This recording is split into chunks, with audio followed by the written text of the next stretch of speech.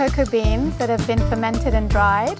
Then we uh, toast the seeds, the cocoa beans. So 15 minutes on a high heat. Caliente, hot. So now we peel them. This is the cacao nib and you can eat it like this, it's delicious. At the moment it doesn't really taste like chocolate, but once we grind it, it'll start to take more, taste more like the chocolate that we know. So this is the organic sugar cane. So you can add different things to this. 100% that becomes a paste. For both, you can just drink as hot chocolate.